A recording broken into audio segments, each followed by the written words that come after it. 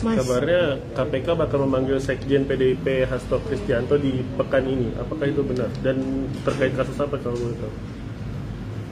Eh, saya belum bisa mengkonfirmasi apakah akan ada pemanggilan saudara HK baik di kasus DJKA maupun di kasus tersangka HM. Tetapi nanti kita tunggu saja di hari H kalau memang ada teman-teman jurnalis akan kita update nanti. Mas, Mas, informasinya dikabarkan- untuk dikonfirmasi soal pengakuan uh, Hakim dan salah satu Michael uh, Jone itu terkait uh, PAW di Kalbar, apakah uh, materi itu yang akan dikonfirmasi kepada saudara Hasto? Ya bisa jadi.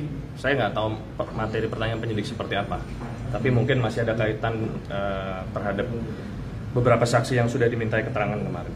Mas ini yang sebelumnya dikabarkan ada data 60 pegawai KPK yang terlibat lagi main judi online itu KPK sudah menerima data itu dari Satgas Judi Online atau gimana?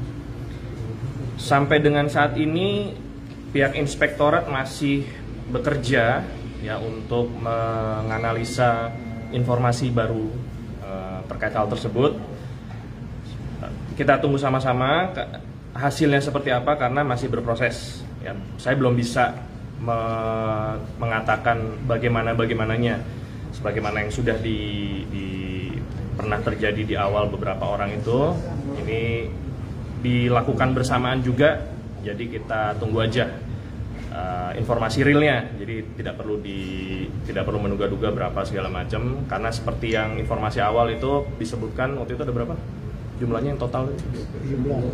Enggak, enggak. ada banyak 17. Ternyata realnya hanya 8. Ya, ini ini masih dianalisa apakah betul seperti itu atau uh, enggak.